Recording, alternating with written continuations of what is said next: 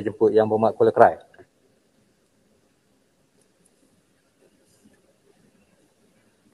Bismillahirrahmanirrahim. Alhamdulillah, salatu wassalamu ala rasulillah. Terima kasih Tan Sri uh, Pengurusi kerana memberi ruang kepada saya untuk mengambil bahagian dalam perbahasan uh, perangkat jatuh kuasa Jabatan Perdana Menteri. Saya merujuk kepada butiran 010000 urusan uh, Parlimen uh, daripada 1,500,586,100 ringgit kepada 564,000 sahaja. Tuan Sri Pengurusi, saya ingin menarik perhatian Dewan Yang Mulia ini tentang uh, pengurangan lebih 1 juta untuk urusan parlimen uh, bagi permanjaan tahun 2022 dan kenapakah pengurangan ini berlaku uh, yang begitu besar sekali ini. Dalam masa yang sama, saya ingin mencadangkan uh, supaya Parlimen Malaysia memberi peluang dan uh, menanggung perbelanjaan kepada mana-mana ahli parlimen untuk menyambung belajar ke peringkat yang lebih tinggi seperti master dan PhD sebagaimana yang dibuat oleh pihak uh, JPA ataupun MARA dan lain-lain lagi. Saya ingin memohon uh, agar uh, parlimen memberi kursus khas terutama kepada ahli parlimen yang baru khususnya selepas uh, berlakunya PRU tentang peranan sebagai ahli parlimen, etika perbahasan, memahami standing order, menghormati institusi parlimen, dan juga sudah tentu menghormati institusi yang diput, yang diperta Dewan. Ini sangat penting untuk meningkatkan pencapaian setiap ahli parlimen untuk apa jua urusan agar sentiasa kompeten dan dapat berperanan yang terbaik dalam Dewan Rakyat seterusnya membangun negara yang tercipta ini.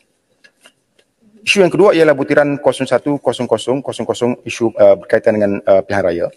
Tan Sri Pengurusi, uh, soalan saya ialah berapakah peruntukan sebenar yang telah digunakan untuk setiap uh, pilihan negeri seperti PRN Sabah dan terbaru ialah PRN Melaka. Selain itu, uh, berapakah peruntukan yang akan diberikan untuk menarik minat pengundi turun mengundi terutama golongan berumur usia 18 tahun untuk keluar mengundi kali pertama. Uh, PRN Melaka ke-15 menyaksikan jumlah peratusan pengundian sebanyak 65.85% ataupun 326,068 68 pengundi daripada 495,195 pengundi selepas ditutup pada jam 5.30 petang. Jumlah itu adalah lebih rendah daripada jangkaan SPR yang meramalkan 70% akan keluar mengundi.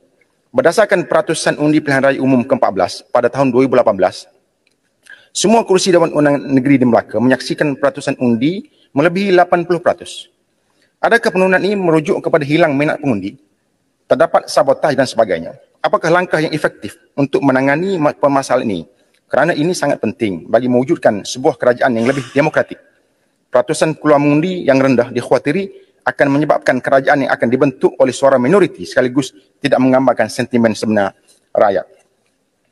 Tasri yang dipertua, uh, butiran 04 0100 iaitu uh, JAKIM. Sebanyak 47 kes uh, saya ingin merujuk kepada isu berkaitan dengan ajaran sesat. Sebanyak 47 kes pemujaan telah pemujaan salah ataupun ajaran sesat dilaporkan di negara ini sejak Januari 2020 sehingga September 2021. Antaranya ajaran perjalanan mimpi yang terakhir, PMYT.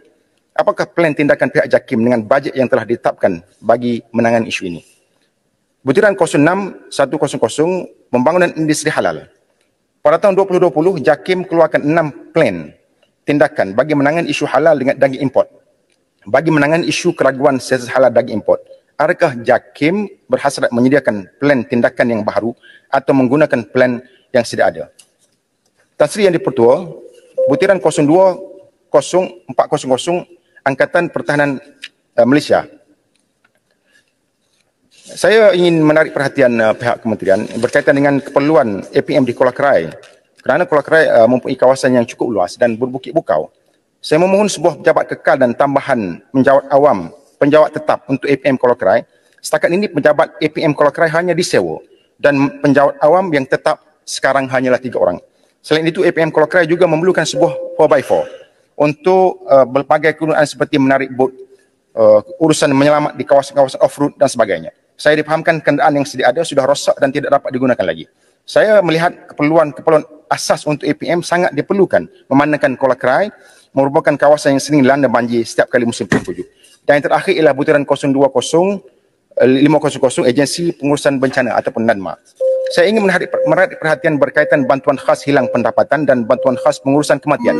Saya mendapat maklum balas bahawa permohonan untuk bantuan-bantuan di atas sangat lambat untuk mendapat kelulusan dan selepas mendapat kelulusan juga mengambil masa untuk mendapat bantuan tersebut.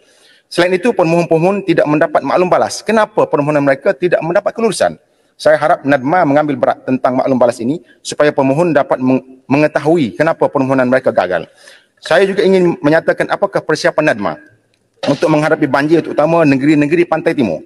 Selain itu, apakah sebab utama kelewatan mendapat bantuan ataupun bayaran bantuan mangsa banjir?